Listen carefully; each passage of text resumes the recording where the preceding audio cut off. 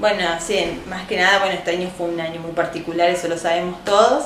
Eh, artes visuales es una materia que, que la tienen en, en, la escuela técnica solamente los alumnos que cursan segundo año. Educación artística en primer año es música y en segundo año es artes visuales o plástica también llamado. Eh, así que segundo A y segundo B, este año hicimos una trayectoria bastante diferente, como la mayoría de todos los, estudiantes, eh, en donde, bueno, tratamos de, trabajar como, salía y tratando de, focalizarnos en, el arte como una, como, digamos, como una necesidad de expresión, un lenguaje tratar de que no sea una tarea más, sino que ellos lo disfruten, que se encuentren eh, ellos mismos con, este lenguaje, con las técnicas y se puedan expresar. Entonces todo el recorrido del año eh, se fue generando de esa manera, ¿no? con, actividades que se iban realizando y ellas iban haciendo las devoluciones, eh, muy diferentes, que también lo que iba teniendo en cuenta es qué respuesta tenía de ellos, porque en esa respuesta me daba cuenta qué actividad les gustaba más, cuáles menos.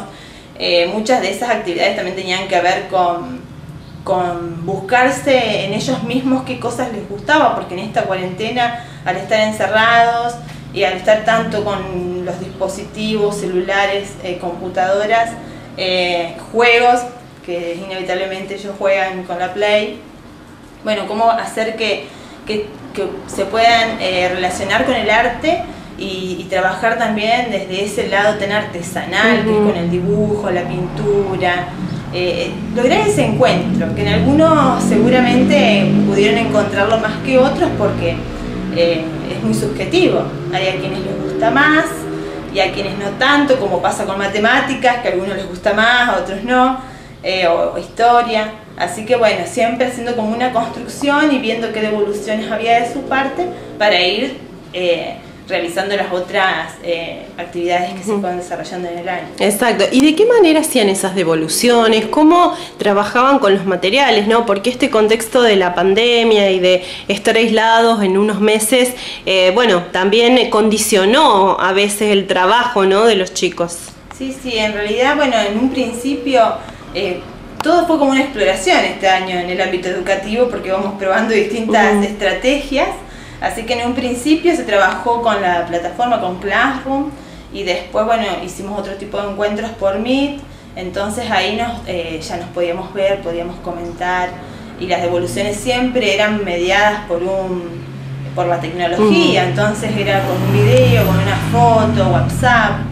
Eh, y de esa manera iban llegando los trabajos de las producciones de los chicos, que yo siempre digo que son obras, y ellos se ponen como en un lugar incómodo, pero en realidad son sus trabajos y a eso punto siempre que vamos trabajando con el arte, que ellos tienen sus propios estilos, sus propias formas de expresarse y que tienen que valorar eso que hacen como lo hacen.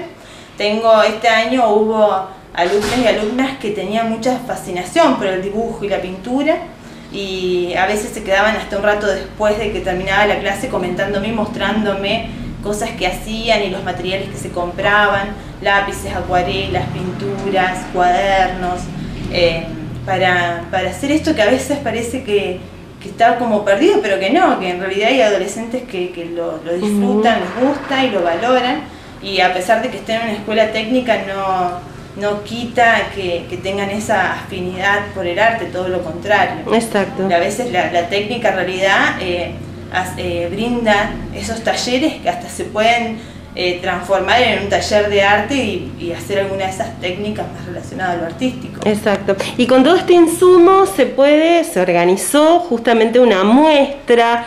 ¿Qué se puede ver? ¿Dónde se puede ver? Bueno, para cerrar el año, Siempre, bueno, es tradicional la Expotec, que ahí es donde se mostraba alguna producción de los alumnos del año. Eh, trato de que ellos elijan lo que quieren mostrar eh, para que se sientan cómodos con lo que muestran. Entonces este año cambiamos este formato y lo convertimos en una galería virtual.